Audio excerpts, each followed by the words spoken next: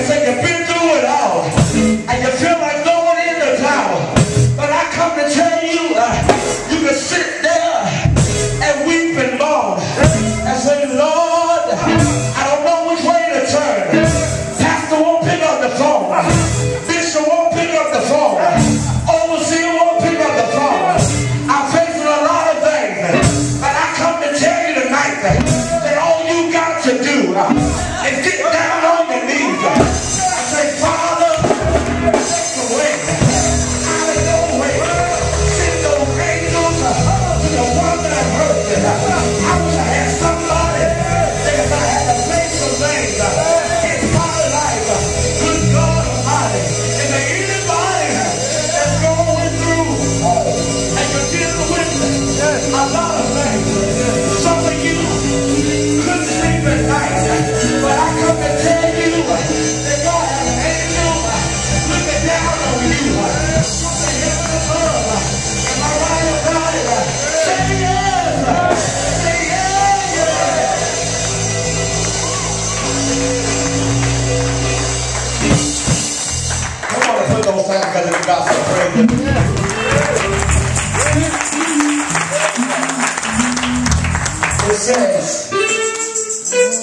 That David killed Goliath.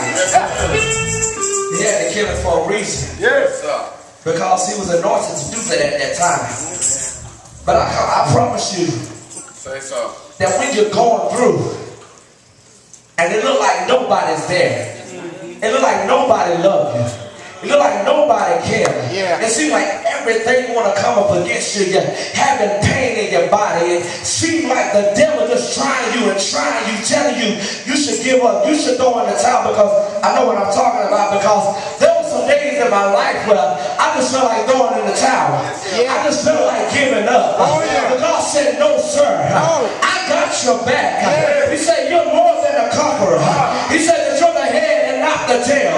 He said you're above and not beneath. He said that I will never leave you uh, all by yourself.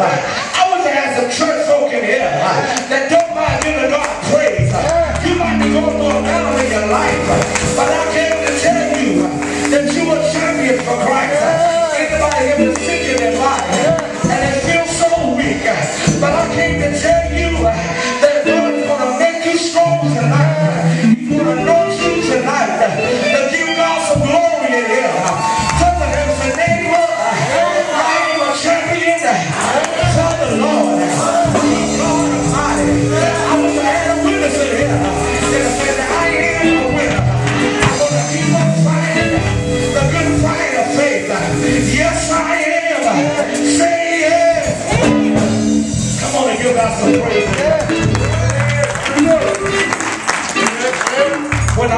To look Yeah. the other day when it was said that Mr. Robin Williams, a true actor, a man that very funny, amen. Yeah. He was depressed. You know what? You, you can make people laugh, but they don't know what you're going through at home. Yeah. That's right. You can be hurting, you can be crying. Yeah. The devil want to talk to you.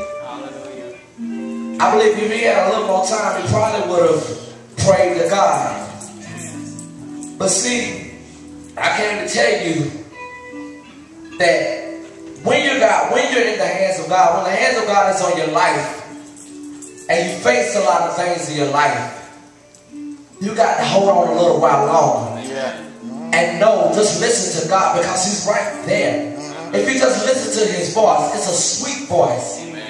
Can I get a witness in here? That's I right. never had some conversations with God. You had to begin to talk to Him and just say, Lord, I love you. Lord, Lord, I thank you. I thank you, God, for being true. I thank you, God, for being the love of my uh-huh. life. I thank you, God, for encouraging me. How many of us, how many of you ever had and felt like that? You just wanted to walk along by yourself. You just wanted to cut friends off. You wanted to cut relationships off because you felt so alone.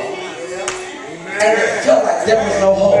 Yeah. But I came to encourage you tonight Yeah. that you got to be like David and face your giants.